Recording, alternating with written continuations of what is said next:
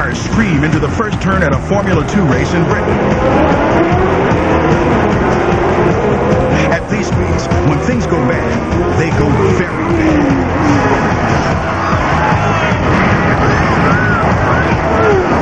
Once again, in slow motion.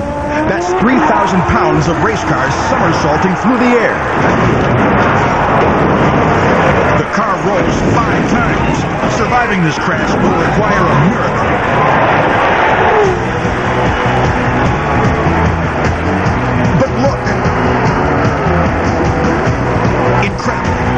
Manfred Winkelhock walks away from the wreckage without a scratch.